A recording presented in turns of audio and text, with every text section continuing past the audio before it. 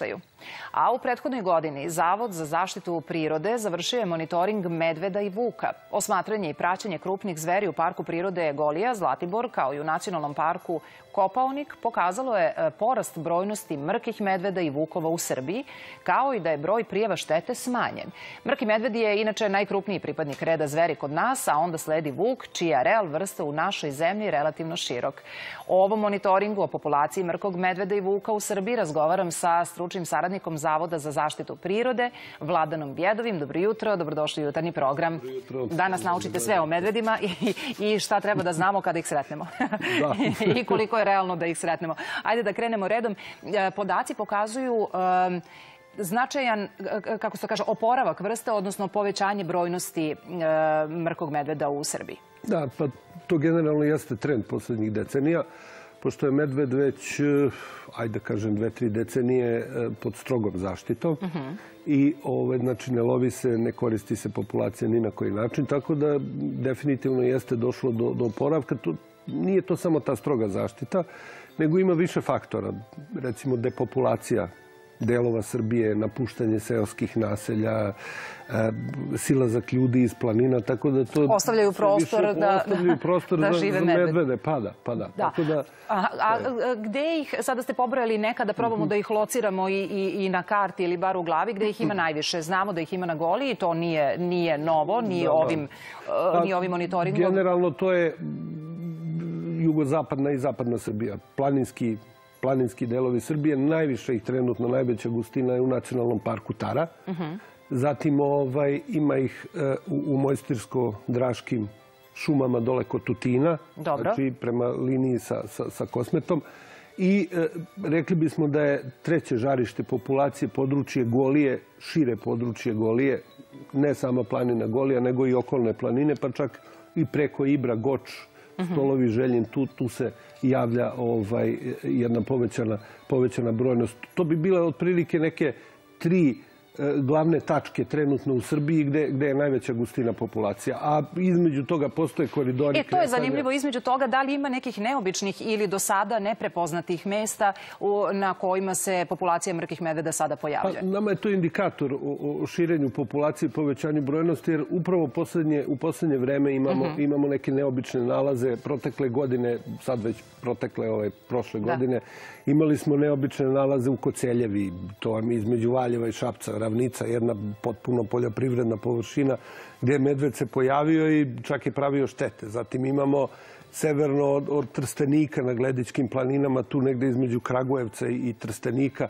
gde se šetaju medvedi, a, najneobičnije kod Lapova bio. To je, to je skoro na autoputu, pa da čeka voz. Da. Šta, mislim, čime se objašnjava? Zašto dolaze? Jer da li im odgovara područje, klima ili ono što ste malo pre rekli, e, depopulacija, pa im je pa, tu zgodnije, ne, ne nailaze na ljude? Ovo čak, ovo nisu depopulisani, ovaj, depopulisana područja, ne, nego to je jednostavno takođe indikator da se u mhm. tim jezgrima, tvrdim već populacija namnožila i ovo se uglavnom radi o mladim jedinkama koje traže novi prostor. One tu da lutaju, verovatno se za sada neće zadržati tamo. Možda u nekom narednom periodu im postane tesno u njihovim krajevima, pa i tu počnu da, da naseljavaju odgovarajuća odgovarajuća staništa. Inače, to, to uglavnom jeste, znači to su vagrantne jedinke koje traže sebi novi prostor i to nama jeste neki indikator čim se pojavljuju tuda gde ih praktično niko nije video godinama, to nama nešto govori da, da, da se dešava sa,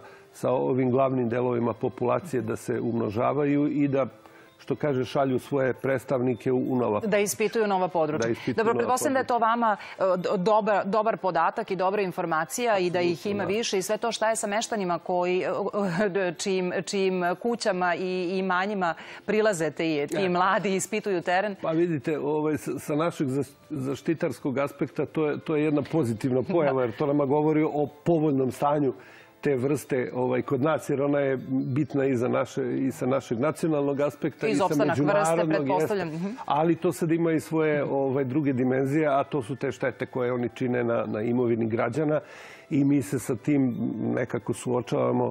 Ovaj, teo bi da napomenem da u Ministarstvu zaštite životne sredine postoji fond, novčani fond za nadoknadu tih šteta i mi svake godine imamo sve više i više prijava. Sad, da li je sve više šteta ili građani sad znaju da mogu nekome da se pa obrate za nadoknadu šteta, pa tako da imamo, već pratimo određene I to su pretpostavljamo očekivane štete koje medved može da napravi na pčelinjacima, na, na, pčelinja, na voćnjacima, na, na stočnom fondu, pa da, mhm. to, to je definitivno. Mi sad pratimo, ajde da kažem, određene trendove iz godine u godinu, pošto ta komisija već radi nekoliko godina. I ovaj, mislim, ja sam član igrom mhm. slučaja te komisije, pa zato iz prve ruke govorimo. Ovaj, tako da pratimo obim šteta, karakter šteta i, i, i ovaj, te novčane iznose koji se isplaćuju. Tako da ima tu pratimo recimo neke godine u jednom određenom kraju skoči broj šteta mhm. prijavljenih, u drugom kraju malo se smanji, a to zavisi od stanja u prirodi. Znate, kad je nerodna godina, onda medvedi traži više hranu da. traže hranu, pa... Imali smo prošle, prošle godine jednu situaciju, dosta se, možda je bilo više, ali ovoj se dosta pričalo, da je se išao u naselje, u Atenicu, kod Čačka, da su ga videli meštani i tako dalje. E, nismo ni stigli da pričamo o šteti, pričali smo o mhm. šoku koji su, koji su, meštani, koji su meštani doživjeli. Koliko se to često dešava i postoji li, e, osim u, priči i u basni, strategija kako da reagujemo kad sretnemo medveda? Pa, znate šta, ne postoji posebno ono što kaže iz basni ovaj, priča praviti se mrtav. Verovatno kad bi vas medved njuško skakali biste od zemlje pola metra sve i da, ste živi. Ovaj, e, pa ne postoji. U principu medved izbegava susret sa čovekom. On se čoveka plaši i, i sklanja se. Čovek nije medvedov plen. Mhm. Neće medved čekati negde čoveka, nego on jednostavno, zahvaljujući svojim čulima, mnogo pre osjeti naše prisustvo nego mi njegovo. I on se sklanja. Nego ovo su čisto slučajni susreti koji se dese. To je Atenica on se pojavio na, na planini Jelice, ali to je mhm. jedno selo kod, kod, kod Čačka. Ima predgrađe Čačka, Atenica, ali ovo je drugo, ovo je selo Atenica koje je malo udaljenije i to jeste negde u nekom ambijentu gde, gde medved može da se pojavi. Mhm. E sad on navikne se, prilazi kućama, pa onda ti slučajni susreti sa ljudima... Da, ako vidi da nije dobrodošao, on ode. ne, pa pobegne, mislim, da. 99,9 posto slučajeva medved će da se skloni od čoveka. E, pričali smo o rezultatima monitoringa, možda da se vratimo korak jedan pre toga, da vidimo kako se taj monitoring, kako se to čipovanje zapravo e, realizuje i opet da nam pojasnite, e, u segmentima ste i o tome govorili, zbog čega, nam je, zbog čega su nam ti rezultati bitni? Pa, taj monitoring je jedan proces kontinuiranog praćenja određenih pojava i procesa u prirodi. To je generalno, ali monitoring u korenu reči je da upozori.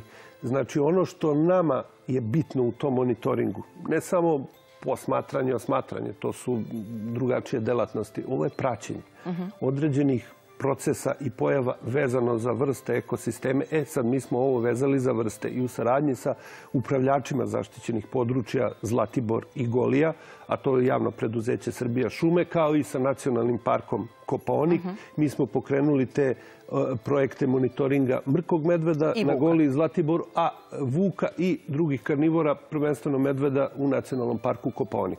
I to je ono što je važno, što nama daje e, kontinuirane podatke, sistematizovane podatke, podatke u, realne u vremenu i prostoru, da bismo mi znali šta se sa tom populacijom dešava. Mhm. Prvo da bismo procenili koliko ih ima, koji prostor zauzimaju, kako se po tom prostoru kreću i kako ga koriste.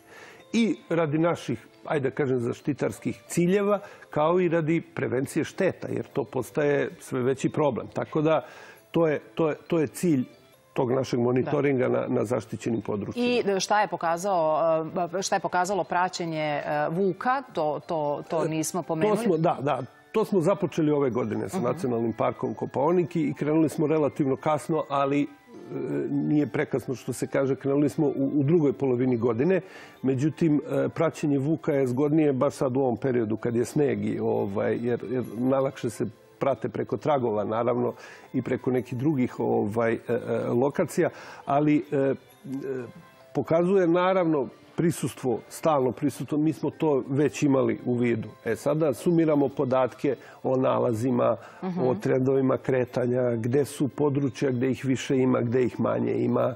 Je li ih ima negde više nego, nego je li ih ima zapravo više nego pre i, i je li ih ima na pro, područjima na kojima nismo navikli? Populacija vuka kao vrste u Srbiji je generalno stabilna sa blagom tendencijom porasta. Ovaj, to, to takođe na, na osnovu ovaj, nekih podataka o nalazima, pa i na osnovu šteta, mada tu generalno nemamo još neku evidenciju o obimu šteta koje vukovi prave, ali generalno po prostornom rasprostranjenju ovaj, ta je brojnost sasvim zadovoljavajuća. Nema neke, ajde da kažem, dosta veliki opseg procena brojnosti, što ukazuje da još uvijek nismo uradili dovoljno na, na nekoj standardizovanoj metodologiji za procenu brojnosti vuka, ali u svakom slučaju taj njegov status se može oceniti kao stabilan sa blagim porastom.